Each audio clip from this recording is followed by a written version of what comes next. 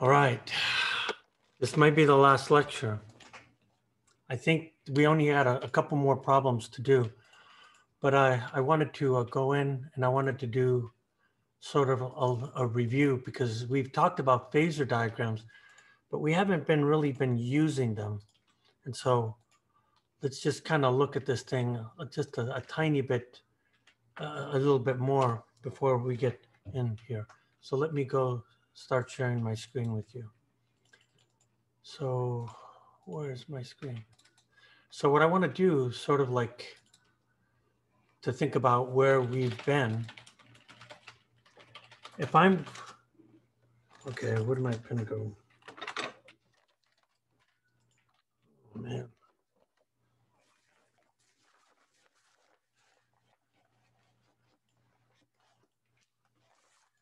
So typically when we write a phasor diagram, we typically plot the voltage and the current simultaneously, even though what we've been doing up to this point here is that we've been looking at the just the impedance here. But when we're actually looking at a phasor diagram per se, what we really want to do here is that we want to really show what we mean by the current and the voltage, you know, leading or whatever that is here. So if I was to kind of do a, a brief review,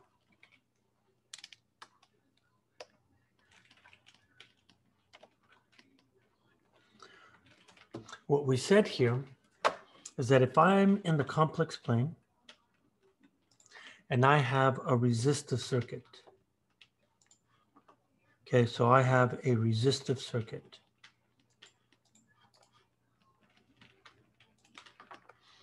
What you're going to find here, again, of course, this is the complex plane here, is that I could have some arbitrary vector, which I'll call the current, and let's say that the current is going in this direction.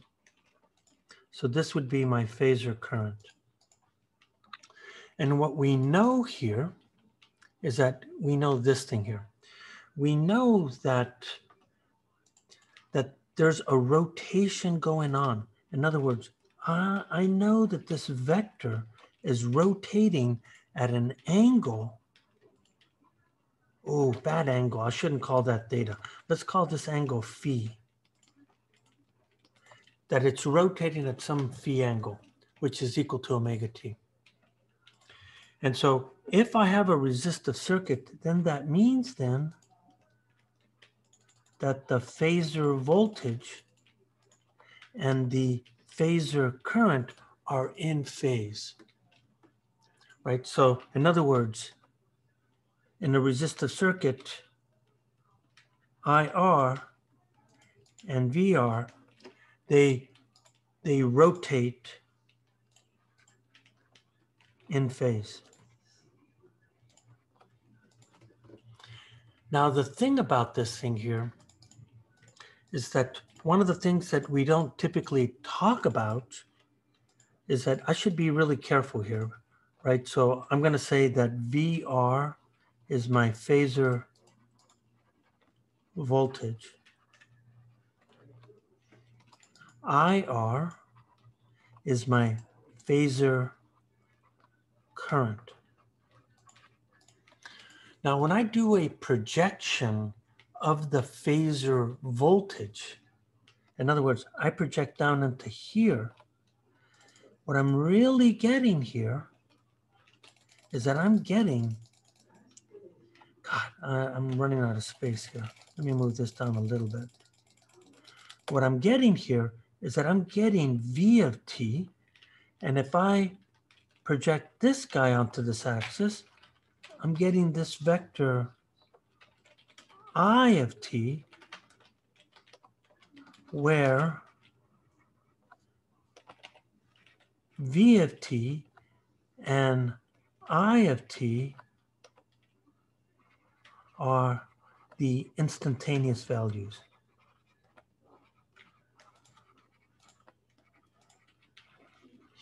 And the way we get that, of course, is we take the the vector, I mean, we take the, we use Euler's. So the way we get these instantaneous values at this point here is that we have our vector.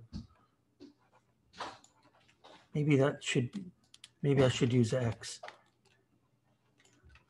And then we get, of course, this cosine of this X, the real part of X, which would give me X um, cosine, of course, of omega t plus theta, whatever that is, plus jx sine omega t theta.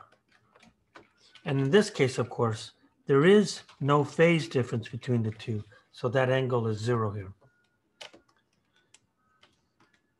You know, I, ah, gosh, I'm kind of screwing up here, right? It has to be that.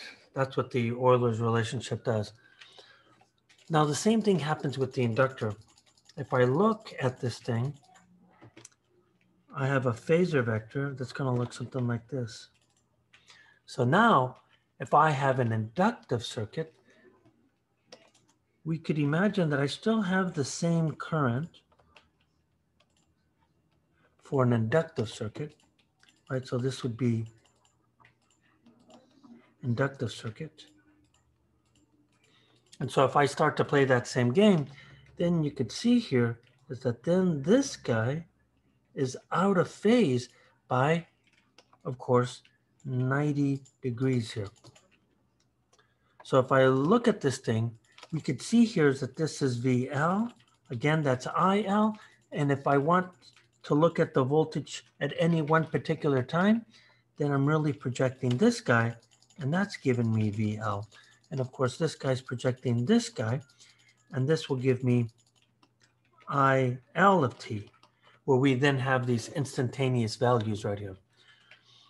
But that phase angle, in this case, we're literally seeing that the phase, of course, is 90 degrees in this point here. And I can do the same thing with the capacitor.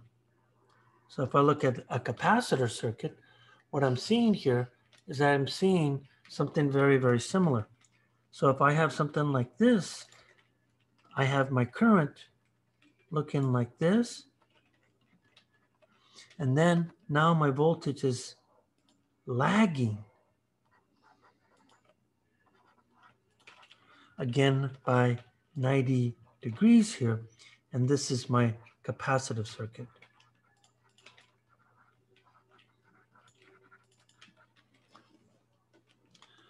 And again, each of these, of course, are doing what? They're rotating at omega t. They're all rotating at omega t, as we saw with the applet here. Now, the one thing that we've seen here in the past is that if I look at the reactances and probably this is one of the most famous examples of AC circuit, is that um, that if we have an AC series RLC circuit, well, we can really just kind of look at this thing. And if you look at how this thing would behave here, of course, we would have some source. And of course, these are my, my phasor elements.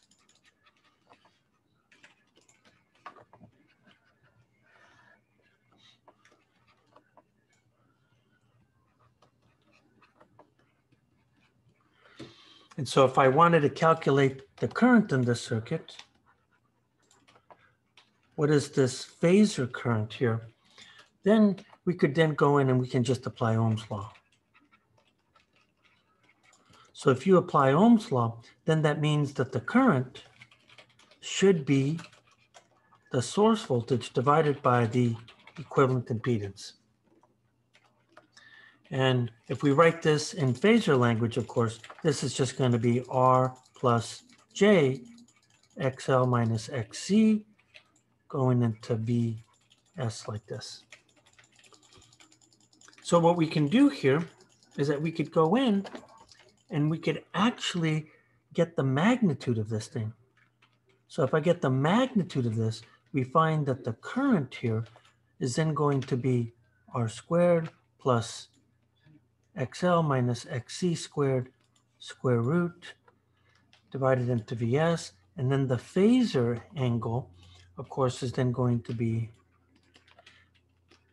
XL minus XC over R.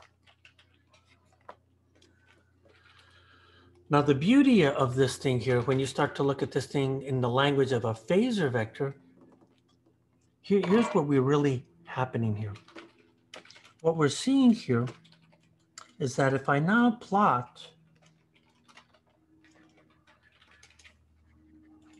reactances, what we're seeing is that we're going to see a curve that looks something like this. We know that the reactance of the inductor must look like this. We know that the reactance of the capacitor must look something like this here.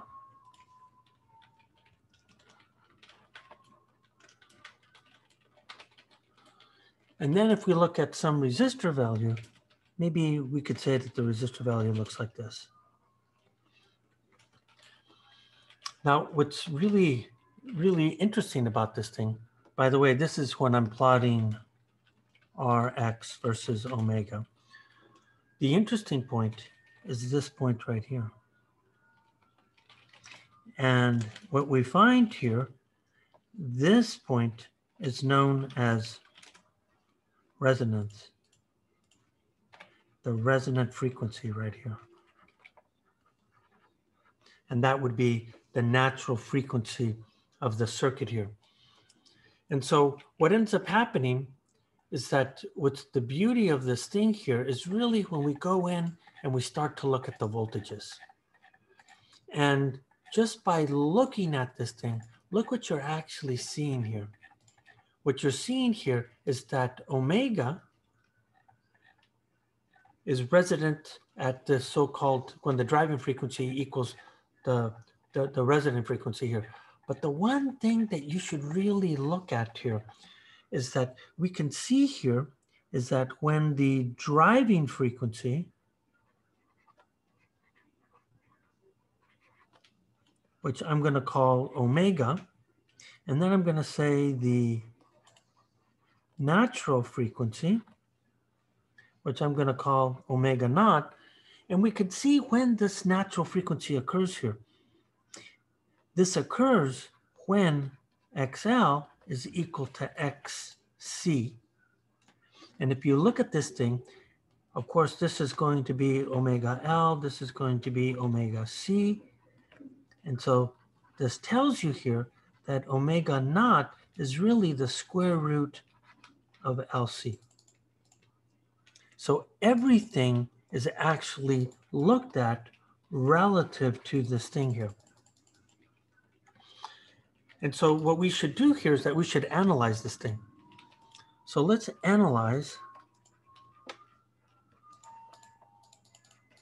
the behavior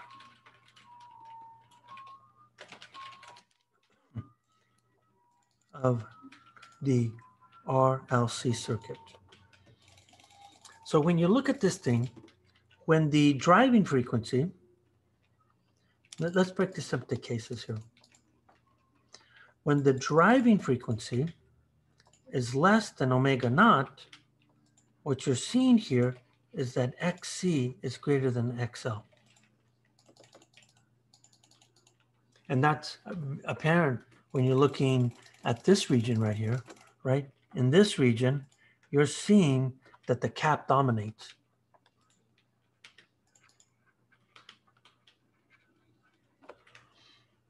And then when we look at this situation, where omega is greater than omega naught, then you're finding that the inductor dominates the cap. That would be in this region right here you know what? I'm going to move this guy out of the way. I'm going to put this over here. But right here, I'm going to say that this guy is omega naught. And then there's this magical point when omega is equal to omega naught. And in this case here, what you're seeing here is that XL is equal to XC. So the question is, what does this thing really look like? Well, what we can do here is that what this really implies here, so if I go back to when my frequency, let me write here, here's where the inductor dominates. And what you want to pay attention to here is that let's go back to this guy here. This is the region of the green, right? And so what you're seeing here is that from Ohm's law, that tells you that the voltage of the cap is then bigger than the voltage of the inductor. And what you're seeing on the curve here, here's the beauty of the curve here. So let me see if I can do this right. And I'm going to be plotting voltages versus frequency. And I'm going to try to see if I can space this out nicely. So this is going to be omega naught. And so what you're seeing here is that if you look at the voltage of the cap, when it's in series here, what you're going to find here is that the voltage of the cap is going to look something like this. It peaks at low frequencies. Let me see if I can get this right. Because you never start off with an infinite frequency. And that's because omega, you, will never get an AC circuit with omega. So there is no point. Okay, so let's be careful here there is no point where omega is equal to zero. Or it's infinite, right? That's otherwise it wouldn't be an it's not an AC circuit. So here's what you find. What you find here is that you start at some frequency that's not zero. So you're, you're really kind of starting here. And what you're seeing here is that it peaks in the cap and then this guy starts to die off like this. This would be the voltage of the cap. And what you're seeing here is that it dominates at low frequencies. And then if you look at the cap, the inductor here, this is our red region right here. If you look at this, again from Ohm's law, you're finding that the inductor dominates the cap in that region. So if you go and you plot this guy here, what you're going to see here is that this guy relatively starts off low here. And then you're going to see here is that it's sort of like, ooh, they sort of like dominate and then they cross and it goes off like this here. So you're seeing here is that when you go and you measure this, you could see that there's a region where the inductor dominates at high frequency. So what's really interesting about this thing is if you now look at the voltage of the inductor, okay? So that means we're looking in this region right here. We're looking at this particular point. And what you find here, this is in essence, what you're seeing here is the reactances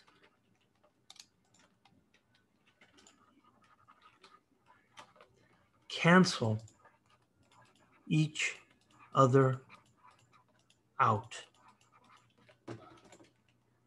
And so when you look at what's happening to the voltage, you look at the voltage of the resistor, and this is what happens here it essentially comes in.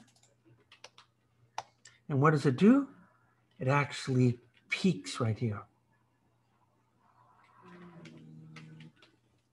So this guy, the voltage of the resistor, peaks at that particular point. Now that's really, really important, it turns out, in an RC circuit here.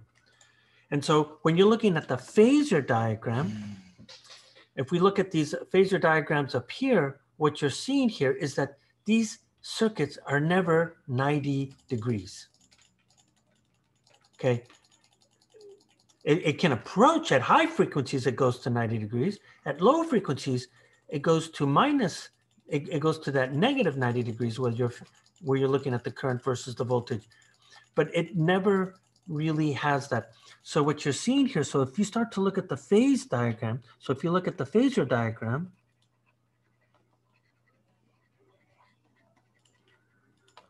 this is what you're finding here. If I look at the region here, let's go back again. If I look at now this guy here, you're seeing that VC is greater than VL, which tells you that XC is greater than XL.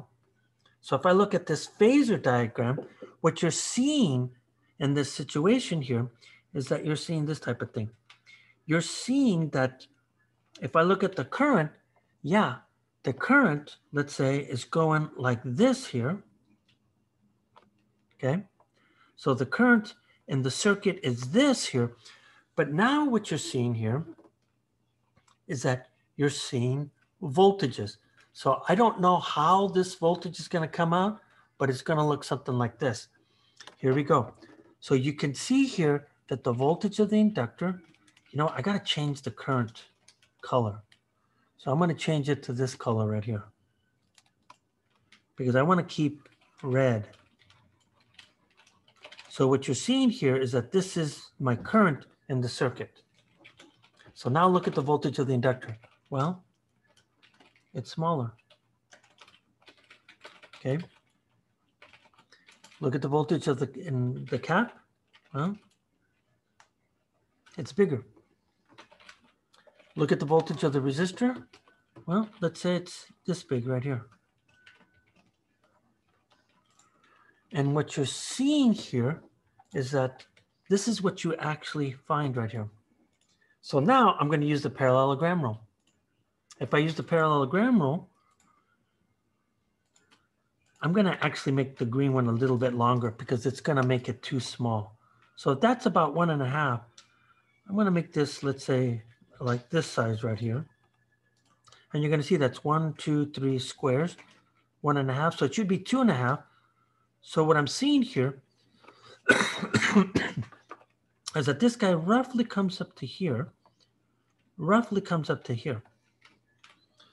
and so what you're seeing here is check this out. This is the vector sum of VC, VL, VR, and that is the voltage source value. And although this looks, and then this is the angle theta. So what I'm doing here is that I'm using KVL right here. So the thing that I want to actually, oops, sorry about that. The thing that I really want to show you here is that note that before we calculated voltages and phase or current and phase. So if I go back to the circuit here, and some complicated value, what we're doing here is that, look what we did here. We calculated the voltage. In this case, we didn't calculate the current here, but these values, as we get these more complicated circuits here, where we're using, in this case, we're using node analysis, what you're seeing here is that I'm when I calculate that voltage and that current, it's very similar to looking at something like this. When does the capacitor dominate? And then you would have to really show what is going on here. And then you could sort of like start to relate what's actually happening here. So in this case, what you're finding in this circuit here is that in this scenario here, what you're finding here is that the current leads the voltage. It leads the voltage. And they're out of phase. And it's this diagram that's really telling you this thing. And you could see that we're going to do the exact same thing if I now go to the second piece where I now say VL is greater than VC. So in this case here, then we have XL greater than XC. So if I go and I draw my phasor diagram, you could see how I'm where I'm going to probably go with this thing here. Because now I could have, let's say I have something like this. Here's my VL. And then this time, let's say it looks something like this, where this is VC. And then my resistor is exactly the same length because it's not frequency dependent. And then if I use the parallelogram rule, you could see here that I'm going to get a vector that kind of looks something like this here. So in this case here, if I drew this correctly, which I'm not going to get a really good picture here, so I'm going to make this just a tiny bit longer here. What you're finding here is that the parallelogram rule in this case is going to give me a vector that that's going to be somewhere, damn, it's going to be like right here. So that means here that if I look at the parallelogram rule between these three vectors, this is going to be my voltage source. And when I look at the current here, the current will have a phase between these two vectors right here. So that means if I look at this angle between these two guys, this is my phase. So when I look at this diagram right here, you could see here is that Vs leads I by just a little bit. So if I go back and I look at my curves, here's what you're seeing here you're seeing if that's the case here, then you're probably peak, looking at a spot, the instantaneous voltage at the spot right here.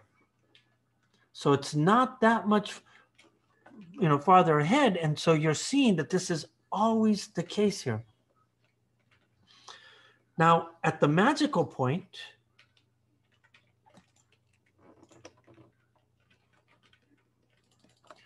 where VL equals VC, you then get to this point here, and then you get a pure resistive circuit. And so at this particular point, then, you're literally getting something that looks exactly like this.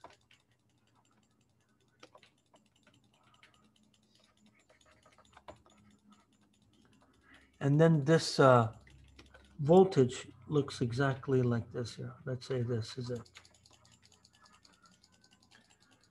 So when you're looking at this thing, it's exactly like that.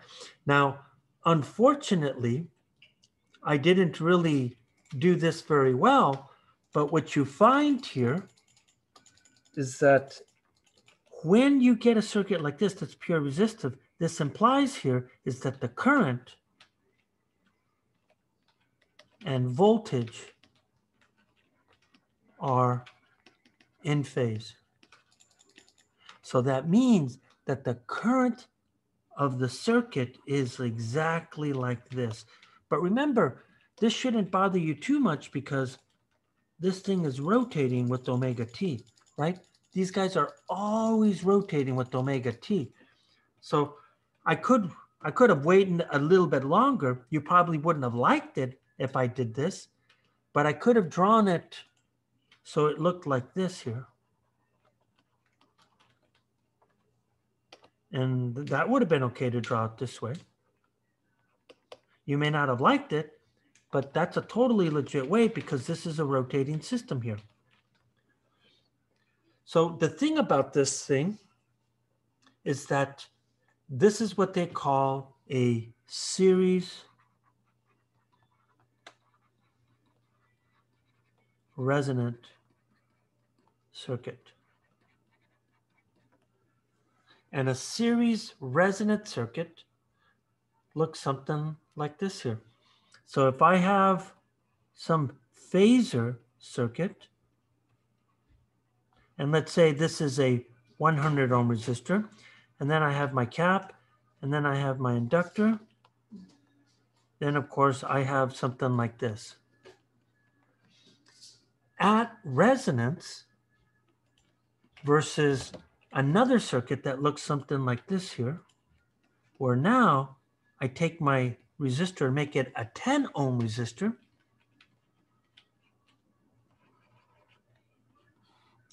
Where again, I have the exact same inductor values. Here's what you really find here. What you find here is that we know that when I match the impedances in the, the AC circuit, I'm going to get this blue curve right here. So what happens here is that you can see here is that this guy has a larger resistor. This guy here has a smaller resistor. And so when you look at this circuit here, you find that it looks something like this. At resonance, let's say this is omega naught, the red curve looks broad and flat. The green curve looks very, very thin and sharp. This is what they call a high Q circuit. It's called a high quality circuit. This is what's called a low Q circuit. And what you're finding here is that when you, you're looking at this thing here, here's what you find. Is that one analogy that we can use, by the way, there's numerous analogies that we can use, but the one that's most commonly used is a car radio because people typically don't have radio stations. And what you have in a car radio is that you have an adjustable station knob. Now, if so if one has a low Q circuit, one can get multiple radio stations simultaneously.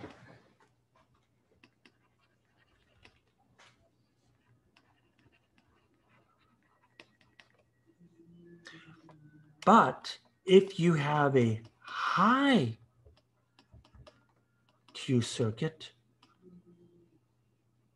only one station comes through.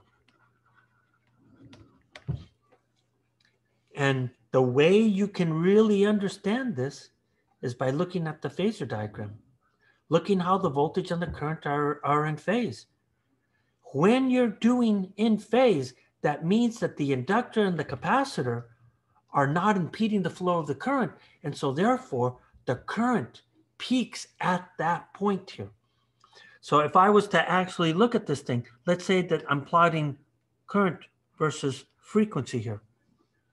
So that current is a maximum when the impedance is at a minimum.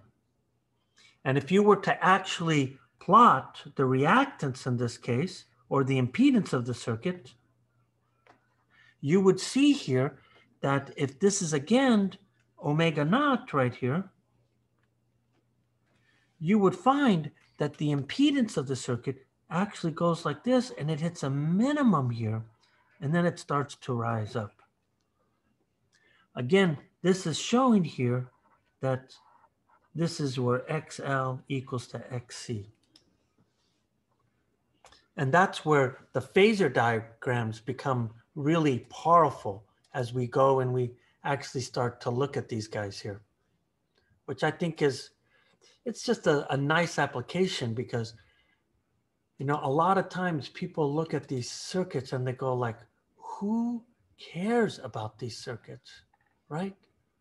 Why would I care about them? And so what I want to do here is that I just wanted to try to give as much application to this scenario as, as, as, we, as we could here. So I think we only have two more examples left. And let me go get them. And I'll try to stop doing uh, too many applications. But we've talked about node. I think we should go in and we should talk about mesh. So I have two examples to finish here. So let's go do these things here. You know, by the way, um, I have my lecture notes someplace. I don't know really know where they're at, but I'll upload them if if that would be of any interest to you. But yeah, that's what we want to go in and do. So here we go. So what I'm going to do here is that, you know what? That's a really crappy one that I want to. I don't really want to do this circuit. Let's do this one. This one's cleaner.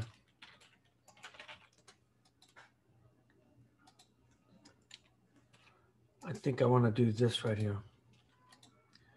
And so what I want to do here is that I want to go in and I want to use mesh analysis to actually solve this thing. So if I'm going to use mesh analysis, then it makes sense that that if we count the number of loops, then I'm just going to use phasor circuits to actually do this. So this time, what I thought that I would do here is that I'm going to maybe not do all the phasor calculations. Maybe at some point we should we should actually do the phasor calculations on some of the circuits, but this stuff gets really tedious really fast. So let's see what actually happens. I might just rely on a calculator calculation just to put the numbers in. So again, we have two loops. So therefore, I must have two loop equations. And it seems like the easiest way to actually do this is that I'll probably go, I'll call that phasor one, and I'll call that phasor current two. Now note that they're always, they're already set this way. What I, what I have found here is that when you look at these values here, Note that the voltage source is in polar form, but XL, XC is in rectangular form. I think it's good practice to always have only one form. So the first thing that I'm going to do then is that I think it makes sense to actually convert the source into rectangular coordinates just to be consistent. So if I look at this guy, I see that I'm going to have, so my phasor looks like this. So then, of course, then I'm going to get 24 times cosine of 60 plus j 24 sine of 60. And if you compute this, I ended up getting 12 plus j 12 square root of 3. So that's what source I'm going to use. So now I'm going to write up the loop equations. So if I write up the loop equations, I'm going to start with loop 1. And then you could see that I have 2 with 1 mutual. So then I should then go ahead and just start right in as we did before. So the first one here for loop one, it should be what? 4 plus J6 times I1 minus a mutual minus um, J6 times I2. And then I have to look at the sources. I see that I have a minus sign. So then I take the minus sign to, to the other side and I get a positive. So this should be 12 plus J 12 square root of 3. That's loop 1. So now if I go and I do loop 3, or loop 2, excuse me, then I could see that I have three components. So then I'm going to go, so the first one's going to give me, I'm going to get 8 minus J4 plus J6 I2, and that's going to give me a minus. And then if I look at the 1, I have one mutual, which will be J6 times I, I1. Ooh, I got my signs wrong. Should be like that. And since there's no sources, that's equal to 0. So then if I put this into matrix form, we could see here that it's got to look something like this. So I'm going to get 4 plus J6. Why am I, right? This should be J6 with the minus sign.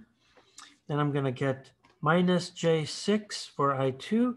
And then I'm going to get 8 plus J2. And this should be I1, I2. And then if I look at my constants, it's going to look something like this. Okay, so now that I have that, I could then go in and and uh, do this here. So then if I use the gain, again, the same, what I would use here is that I'll write it out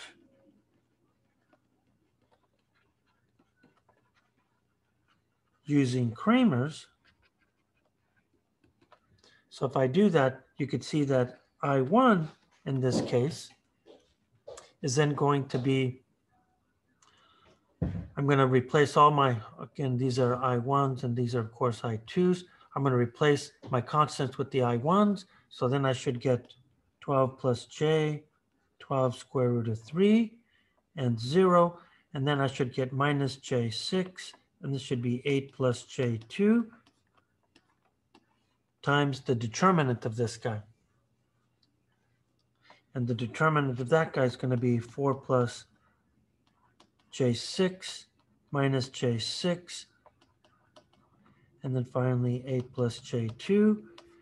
And then if I, all I did here is that I punched it into the calculator and I ended up getting 2 point, I ended up getting um, 2.2 plus j 1.2 amps for I1. Okay.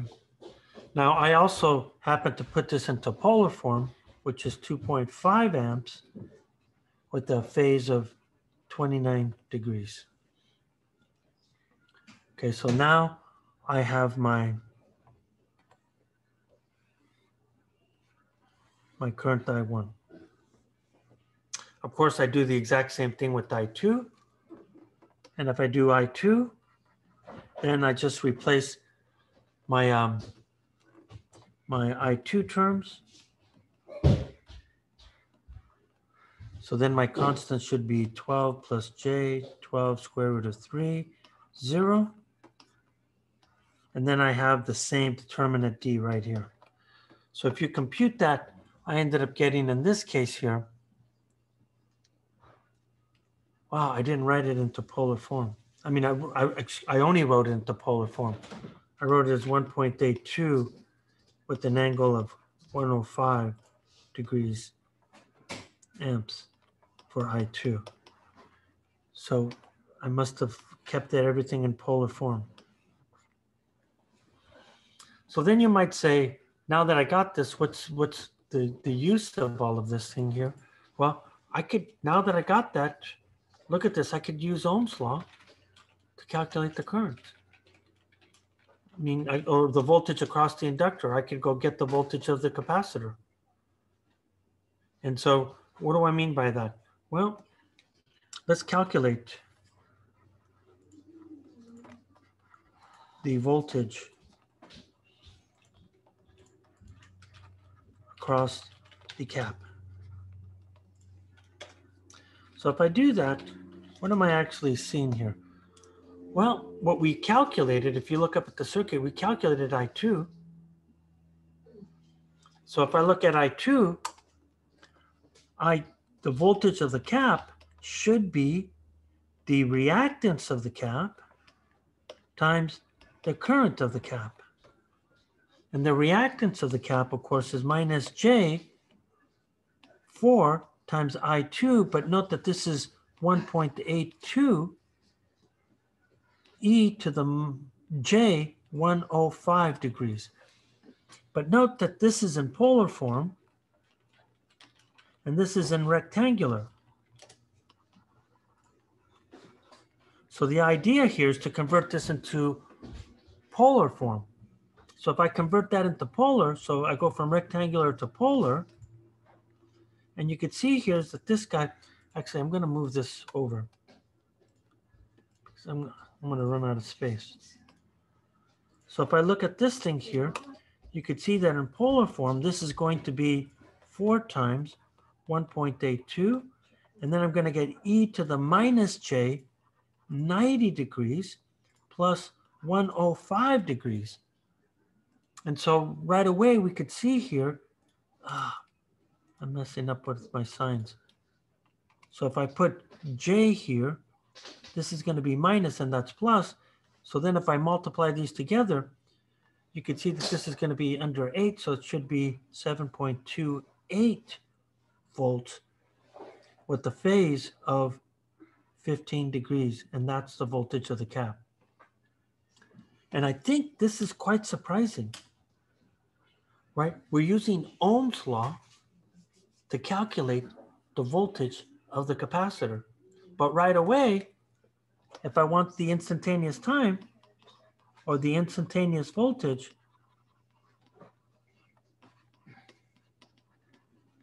I could then come in here and go like, oh yeah, it's actually 7.28 volts cosine of omega t plus 15 degrees. And that would be the voltage of the cap, which is, you got to admit, that's, if you could get past the, the matrix calculations, this is a much nicer way than solving a second order differential equation. And the same thing I can do with the calculating the voltage of the inductor.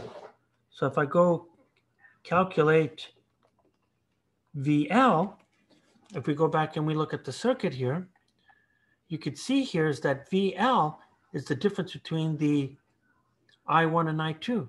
So if I go and I look at this thing, I would then say that the voltage of the inductor should be the reactance of the inductor times I1 minus I2. And if I1 is, if this is positive, then that means that the current at that instant is going down.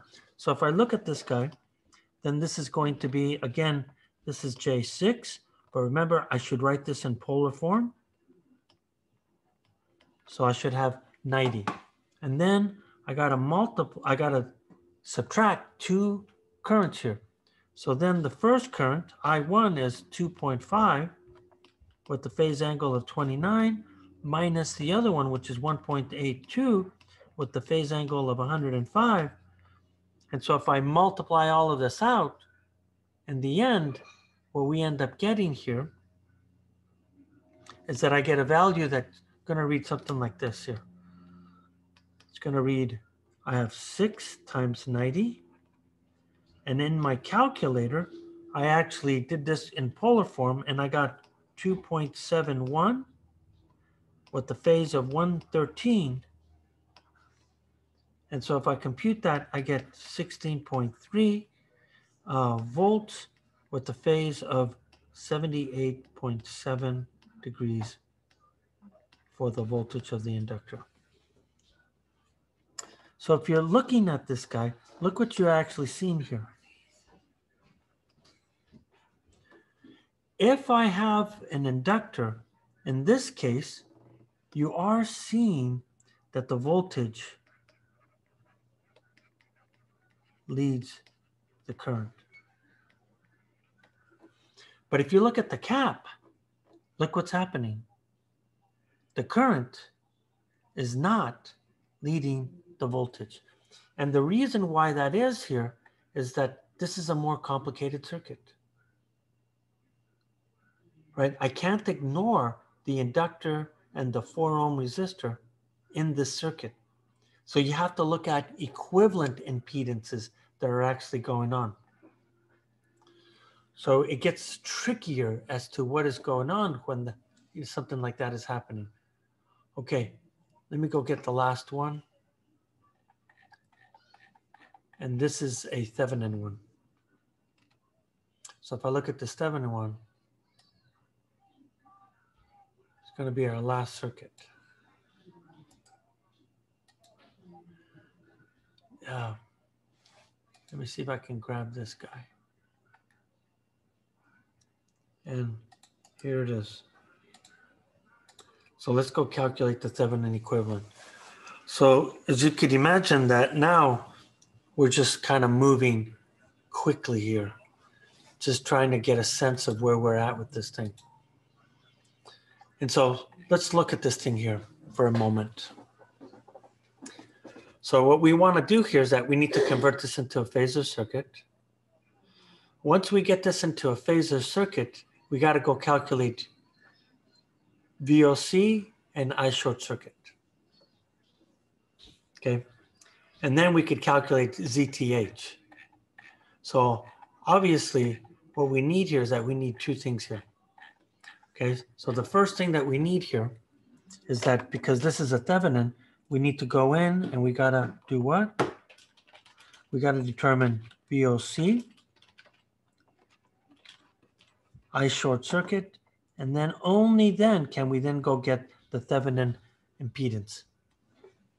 So let's go do this. So the first thing that I would do here is that if I look at, I want to go in and I want to go determine VOC. So if I'm going to determine VOC, the first thing that I got to do is I got to convert this guy. Maybe I should do that first before I do anything. So I need to convert into a phasor circuit. So I could see that omega is 500. So this tells me immediately that I have a cap that's the only thing that I got to do here. And you can see here that this cap here tells me that I have XC, which is going to be omega times C, which will then be 500. And then I have, this is going to be 150 times 10 to the negative 3. So if I compute that, the number that I end up getting here is that I end up getting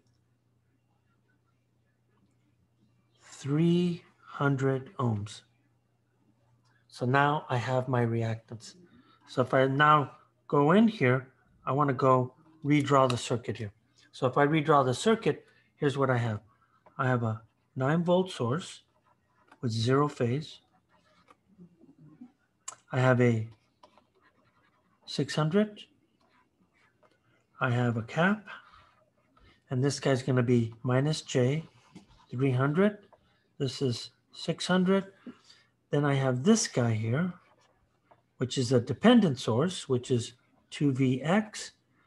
And we could see here that that Vx is across the cap. And then this guy right here represents my VOC here. Now, when I look at this guy, we can see here is that this guy right here is the same as Vx. So how do I do this? Well, there's lots of ways to do this here. Probably the, I mean, if I, if I think of nodes, or if I think of loops, where am I looking at here?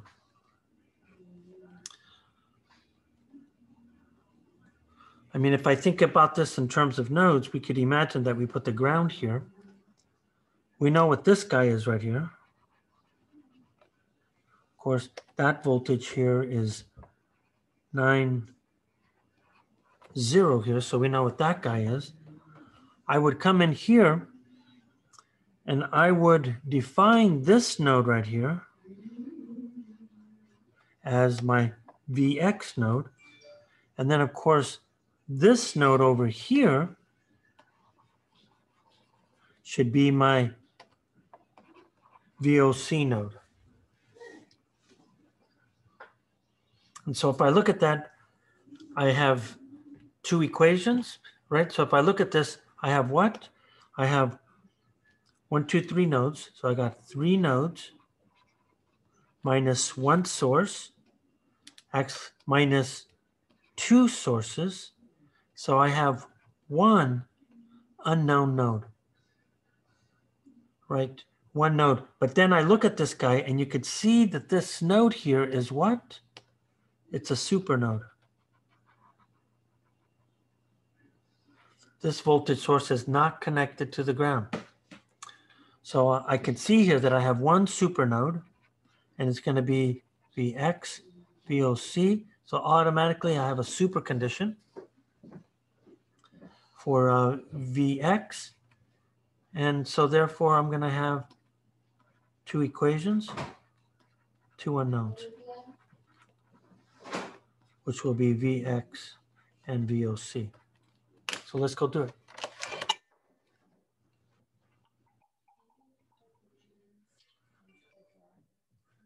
So now, here I go. So I'm going to start off with my supernode. So my supernode equation. So I'm going to start off with Vx. So then I'm going to get 600 minus minus J 300 times Vx. Ooh, I got that right. Then I have, this is connected to the ground. That That is the cap, but the 600, then I'm going to get uh, 1 over 600 times 9. No current sources, so that's equal to 0. Wait, wait. No, it's not. I got to add the cap here, right? So this is for node Vx. So now I got to focus on VOC. So VOC has 1 over 300 times VOC. I have no mutuals connected to the ground, and I have no current sources, so this is 0. So this is node VOC. So now I got to go apply my super condition for Vx. So my super condition for Vx, well, not the, the for Vx and VOC tells me that I can see here that this is going to be VOC minus Vx minus 2Vx. So now I can go matrix this. So now if I go matrix this,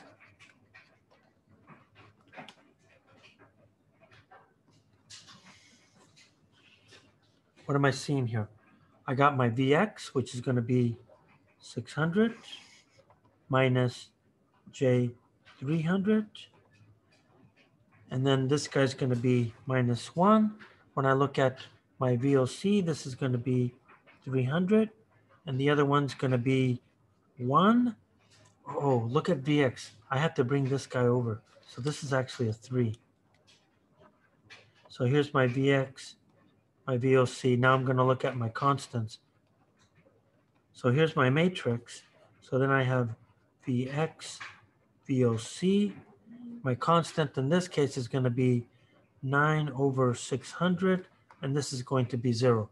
So now I'm going to go after matrix magic. And if I do that, I end up getting this guy. I find that VOC is then going to be 3.71 volts at minus 16 degrees. So I now have VOC. Now let's go determine I short circuit. So what I'm going to do here with I short circuit that I'm to just bring the circuit down with me so that it's just a little bit easier to deal with this.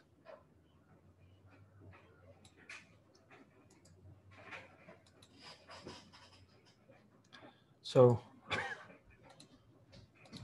so here's the circuit right here.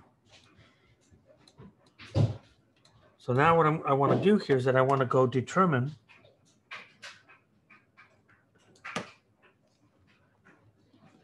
I short circuit.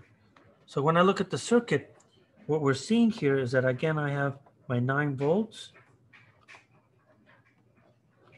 I have my resistor, which is 600. This guy is minus J300. Then I have my dependent source. Then I have this guy here.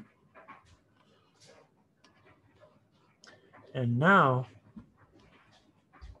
we want to calculate I short circuit. So I want to put a short here, which is then now I short circuit like this. so when you look at this thing, you could immediately see here that the cap, that the 300 ohm resistor is dead, right? Right away, we could see that that guy's zero. and let's not forget about this guy here. And if you're seeing here, this guy is dead. And this is a short. Now, I think I want to draw this again because there's a, a little bit of a subtle issue here. You may already see it, but let's check it out nonetheless.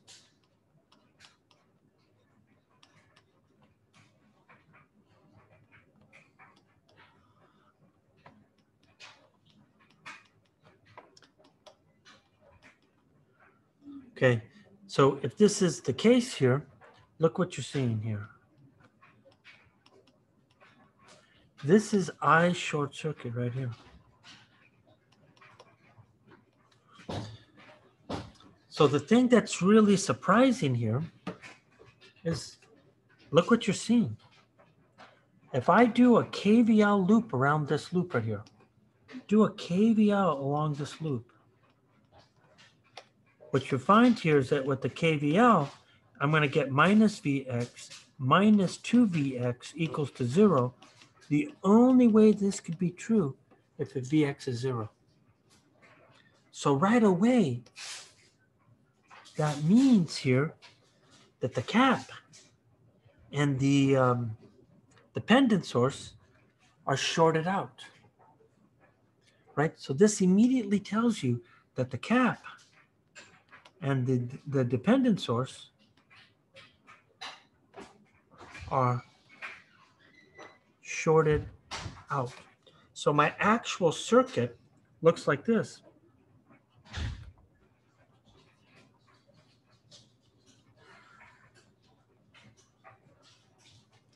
Where this is 300 and then this guy is I short circuit. So according to Ohm's law, The only way this could be true here is that if I have um, I have that I short circuit is then going to be the voltage source divided by this 300 ohm resistor, which then gives us um, it's 0 0.3333. It looks like 0 0.15 amps at zero degrees, or we could go one, two, three, 15 milliamps at zero degrees for I short circuit.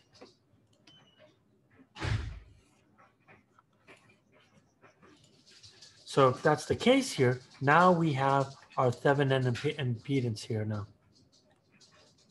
So I could now go calculate this. Where's my mouse? So the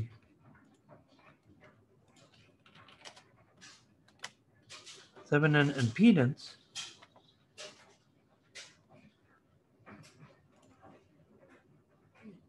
which I'll define as ZTH, then looks like this. VOC, I short circuit. And then if I look at this thing, I know that my current is 0, 1, 5 amps at 0 degrees. Now I got to go get my voltage, which is uh, 3.71 at negative 16. So I get 3.71 volts at negative 16 degrees. And so this tells me here that this guy then I'm gonna get is 247 ohms with a phase of 16 degrees. And that's what this guy is. So, and in theory, I now have a circuit. And what this tells me here is that my equivalent is then going to be a voltage source, which is v, VOC, and then I'm going to have some reactance, ZTH, given by these guys right here. Right? So this guy has to be 247 ohms at a phase of 16 degrees. And this source here, VOC, has to be 3.71 volts with the phase of negative 16 degrees. And that's that. I think that's it. That's all the phasor calculations I'm going to do.